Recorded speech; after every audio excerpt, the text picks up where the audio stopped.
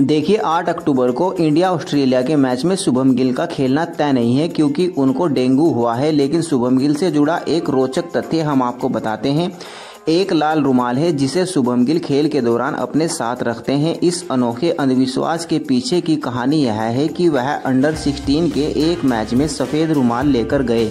इस मैच से पहले तक वह कम स्कोर से जूझ रहे थे लेकिन थोड़ी देर तक खेलते खेलते वह गंदा हो गया। वह एक लाल रंग का रुमाल लेकर आए और शतक जड़ दिया। तब से वो इस धारणा को जारी रखे हुए हैं कि जब जब वह लाल रुमाल लेकर आएँगे तो वह एक बड़ी पारी खेलेंगे।